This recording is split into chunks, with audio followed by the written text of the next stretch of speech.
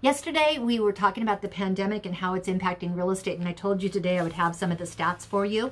And the reason is because I'm getting this question by a lot of different people.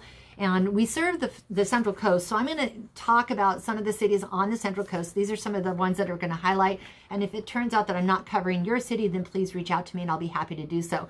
So I'm going to cover some of the top six cities that usually have the most activity in the area, okay? And um, again, if, you, if I'm not mentioning your city, then reach out to me and I'll be happy to go over it. So in the numbers, and the main reason I'm doing this is because I figure we've always talked about getting the facts, okay? It's not April Fool's Day, it's April Fact Day. I'm, re I'm renaming it. And this is trying to give you accurate information so you can make some intelligent decisions and choices and just sort of get some, some numbers and some data, okay? So Santa Maria, in the city of Santa Maria, that was the top um, company, excuse me, that was the top city that actually sold as far as between January 1 and the end of March, March 31st, there was 184 homes that sold in Santa Maria and 376,212 was the average um, sale price. So 184, 476, 212. Now, here's the thing that I want to drill in. We're in the middle of this pandemic and everything, and in Santa Maria currently, there are 83 homes available for purchase but we have 118 people that are under contract. That means that we virtually have almost 236 families making movement choices, okay? Even during this pandemic. And this is all, most of this stuff goes under contract the month before. So we'll have those recording. So that's just sort of to give you a hint as to why I'm bringing this to you, okay? I'm going to jump down and do a couple other cities that are also in the Central Coast so you can sort of see the information there. Lompoc had 93 homes that sold in the um, three-month period. Average sale price was 418, 941. Lompoc currently has 46 homes available for purchase and 45 homes under contract.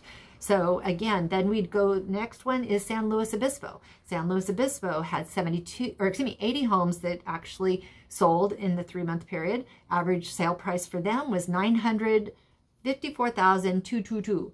So try, try, try saying that two, two, two, two times, whatever. Um, San Luis Obispo, they have currently 80 homes available for sale and they have 47 homes under contract. The next property area is Arroyo Grande, 72 homes. Average sale price there was 775,453. And in the Arroyo Grande area currently, they have 70 homes that are active and 37 under contract.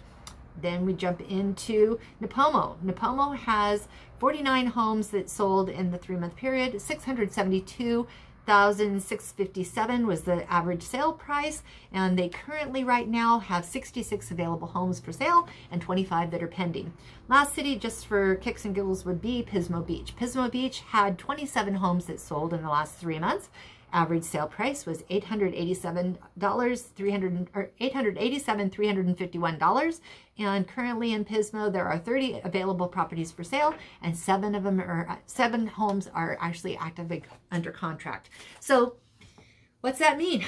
The that means that people are doing things, okay? I don't know about you, but I mean, if we still have people that are buying and selling, and that I find that the people that have opportunities to actually act, not react, are doing so. And they're taking advantage of the different things. They're taking advantage of the low interest rates.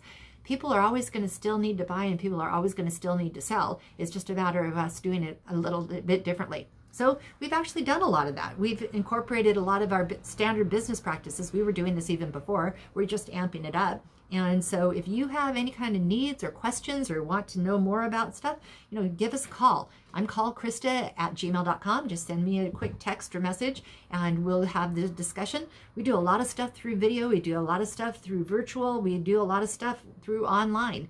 And we can help you do what you need to do, even in times like this. So again, 118 homes that are under contract in Santa Maria.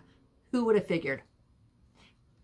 I hope this you find this helpful. Please share this with your family and friends. Pass this on. Let's get the word out, okay? I know there's still a lot of uncertainty, but at the same time, let's talk about the facts and let's get let the facts speak for themselves. Subscribe to our YouTube channel. We're going to be doing this every month. I do it in my newsletter. We're going to be doing it now on video as well. And I'm also going to be providing additional information that's based and pertinent on the questions that you're asking me. I'm Call Krista, OIC Real Estate Services, here to help you see your real estate dreams come true. As always, have an amazingly blessed day. Bye.